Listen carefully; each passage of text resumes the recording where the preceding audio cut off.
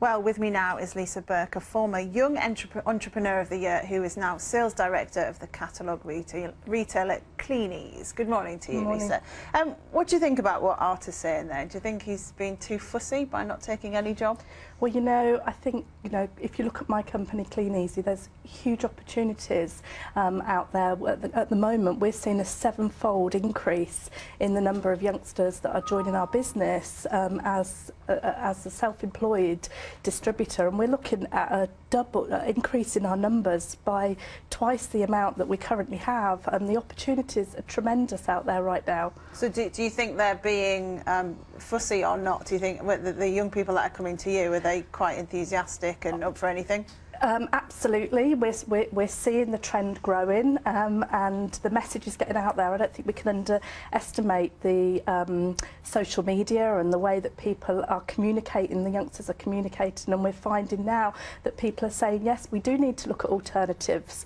We can't all take the perfect perfect dream job um, and um, we're, we're offering those opportunities in the marketplace right now. It's interesting how many comments and uh, views we've had on this people have sent into us. I just want to tell you a couple of them. Simon Carter on Twitter says um, he's recruiting for a high quality apprentice role last week. Uh, planned to interview eight young people but only three turned up. Very sad.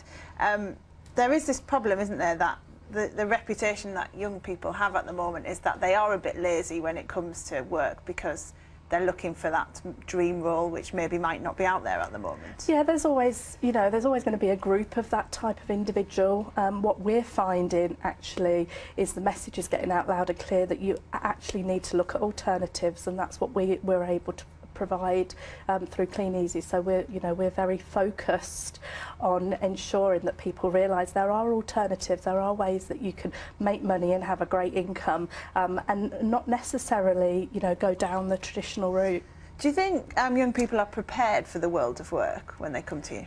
Uh, not always. Um, one of our um, big um, pluses is that we mentor people very closely through people that have been there, they've done the walk, they've done the talk, and um, they're not already always ready, and we can ov obviously offer them a, a real, some real life skills, uh, and people really expand their, their knowledge and their skill base. And I certainly, as an employer, would really see it as an advantage on somebody's CV mm. if they'd had if they've really had the get up and go and work ethic to go and go out and do something mm. for themselves. What was the first job you ever had?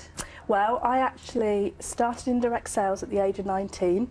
Um, I was training to be an accountant and I stayed in, in the industry. Uh, mm. 25 years later, I saw an opportunity and I saw a fantastic industry where, where I could build my own business and create an income and change my life.